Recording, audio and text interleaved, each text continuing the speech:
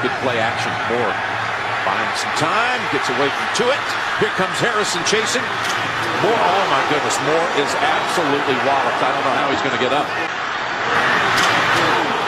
Run people down.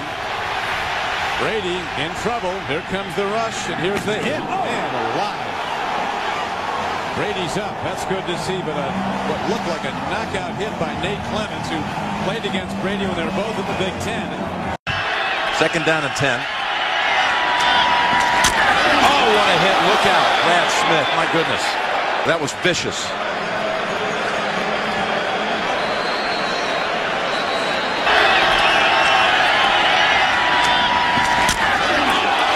Mike Bell is in.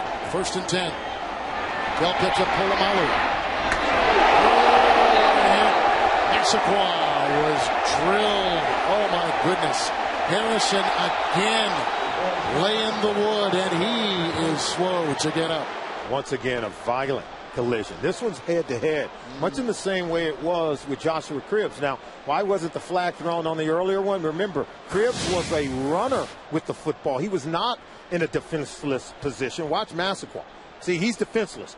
He no way he can protect himself. No way he can see the defender coming. He's looking for the football. Let's listen in. Arizona's abandoned the run. It's been no huddle and throw, and what a hit across the middle by Dashon Goldson. Matty to throw. Separation. Oh, big hit. Sanders gets walloped by McLeod. Penalty marker on the play. Yates into the nickel. Guiteau, they come from the side. He is hit by Williams, a former Texan, and the ball jarred free, and it was recovered by the Jets. And this is Oh, what a nail! As Jonathan Bostic just separated Mike Willie from the football. There's a hole for RG3, and did he get in? Yes, it's a touchdown Redskin. Backing off the blitz, giving McCarron time. Goes underneath, and he is smashed. Shazier lays out Bernard, and Shazier comes up with the football. Yard line. And the slant is caught. Oh, Williams thought he had it, then a tremendous hit.